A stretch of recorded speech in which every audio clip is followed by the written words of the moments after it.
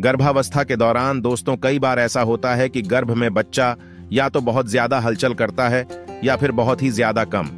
तो इसके क्या कारण होते हैं, आज आप इस वीडियो के अंदर जानने वाली हैं। अगर आप गर्भवती हैं तो आप हमारी इस वीडियो को पूरा ज़रूर देखें, ताकि आपकी मदद हो सके, क्योंकि आज हम इस वीडियो में आपको कुछ उपाय भी बताएँगे। तो चलिए, वीडियो को शुरू करते हैं। अभी तक आपने हमें फॉलो या फिर चैनल को सब्सक्राइब नहीं किया है तो ज़रूर कर लें। गर्भ में बच्चे की हलचल कम होने के कारण, अगर 24 सप्ताह के बाद तक बच्चे की हलचल महसूस नहीं होती है तो इस स्थिति में तुरंत डॉक्टर से संपर्क करना चाहिए। इसके अलावा, अगर पहले बच्चे की हलचल सही थी, लेकिन बाद में कम हो जाती है तो इसके निम्न कारण हो सकते हैं।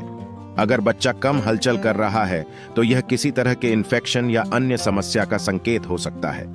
अगर शिशु की हलचल कम हो गई है तो यह शिशु के धीमे विकास का संकेत हो सकता है। बच्चे के प्लेसेंटा या महिला के गर्भाशय में कोई समस्या होने पर भी गर्भ में बच्चे की हलचल कम हो सकती है। एम्बिलिकल कॉर्ड की स्थिति में भी बच्चा कम हलचल कर सकता है। यह वह स्थिति होती है, जब बच्चे की गर्भनाल उसके गले के चारों ओर लिपट जाती है। बच्चे की हलचल कम होने पर डॉक्टर नॉन स्ट्रेस टेस्ट करवाने की सलाह दे सकते हैं। इससे बच्चे की हार्ट रेट और एक्टिविटी का पता लगाया जा सकता है। इसके अलावा थ्री डायमेंशनल अल्ट्रासाउंड से भी बच्चे के विकास व वृद्धि पर नज़र रखी जा सकती है।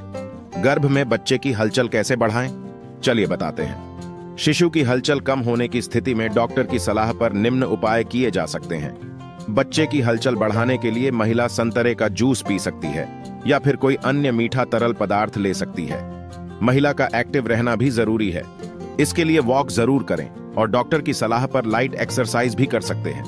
गर्भ में विकसित हो रहे शिशु से बातचीत की जा सकती है। पेट को हल्का सा दबाएँ, लेकिन पेट पर अधिक ज़ोर डालने से बचें। आइए, अब जानते हैं बच्चा गर्भ में ज़्यादा हलचल क्यों करता है। गर्भ में बच्चे की हलचल ज़्यादा होने के कारण जैसे जैसे गर्भावस्था आगे बढ़ेगी, बच्चा बढ़ने लगेगा और वह अधिक एक्टिव होने लगेगा। आइए, उन कारणों के बारे में जानते हैं। जिससे गर्भ में शिशु की गतिविधि बढ़ जाती है। तीसरी तिमाही में आने के बाद बच्चे की हलचल दिन या रात में अधिक हो सकती है। इस समय बच्चा तेज़ी से मूवमेंट कर सकता है। इस अवस्था में दूसरे लोग भी शिशु को महिला की गर्भ में हिलते हुए देख सकते हैं।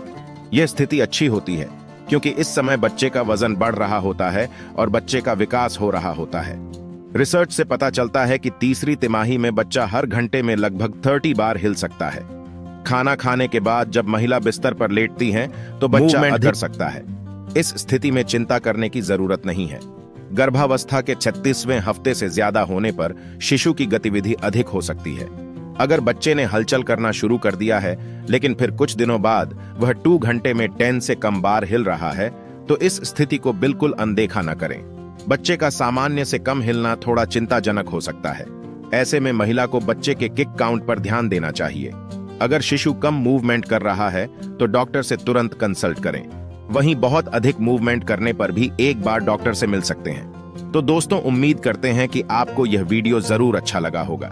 अगर आपकी इस वीडियो के द्वारा मदद हुई है तो हमारी इस वीडियो को लाइक कीजिए शेयर कीजिए और फॉलो ज़रूर कीजिए।